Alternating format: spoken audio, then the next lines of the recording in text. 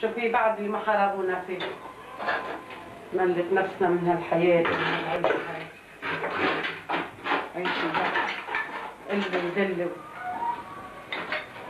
شو ما صار فينا لأني مرتاح لأنه نحن قلوبنا مش على بعض. شو بدنا كوباية شاي نعبي راسنا.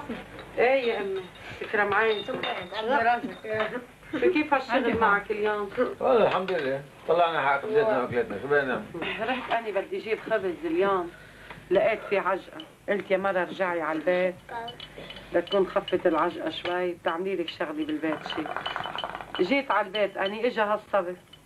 قلت له روح يا أمي جيب خبز. شو رأيك؟ عربت الخبز. بلشوا برصاص بكون ناحية على الخبز بفوت لك واحد مسلح عليه بس بدي بخاف تشكرش اعطينا عشر ربطات للمكتب. هو بحاسبك. بأمرك رئيس. بعد شوي ببوصوا له إيش بيعطوا. بصير يضحك وديك معطلين واقفين ناطرين. ما هن شفتي هذا ابن ابن نحال طرقوه ضرب يوم براسه على قال له شو بك مسك عطيت ضل هاي بأربع بالركيز مات يا المعطل دلي أنا. طيب عملوا حرب حتى لحتى يحطوا حق الناس. وهن اكلوا حق الناس؟ يا سنة 12 سنة قاعدين قاعدين على خط التماس. واحد بيموت وواحد بيتنقلص وواحد بيعرج يا وواحد حرام كده يا حرام. وبعد الحرب وكل ما هو الحرب عم يزيد علينا مش عم ينقص علينا اخ اخ يا وأني رئيس هالدولة بس.